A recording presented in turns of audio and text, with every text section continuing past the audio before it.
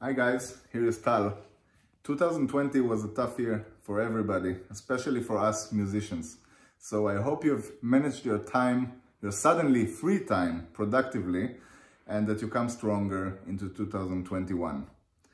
We guitarists, we always want to be on a route of development. We want to get better, we want to understand the instrument better.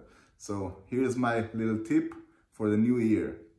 And I'm sorry in advance for all my vegetarian friends, but now is the holiday season, and if you're cooking a roast or a steak for your family, you must know the old trick.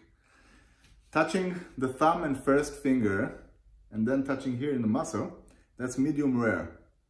Touching the second finger, medium well. Well done, and touching the fourth finger, basically uneatable. How is that relating to guitar playing, you must ask? Well, um, in guitar, you want to make sure your left hand is always in a state of medium rare, so to say. Tension free, relaxed. That means the thumb should always be in front of the first finger, maybe slightly to the left, in that very natural position.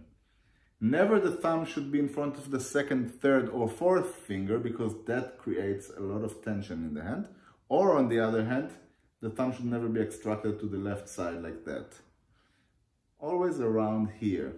If you manage to educate your hand to play in that kind of um, free, tension-free uh, position all the time, then the music is free to flow from your imagination to your fingers without interruption.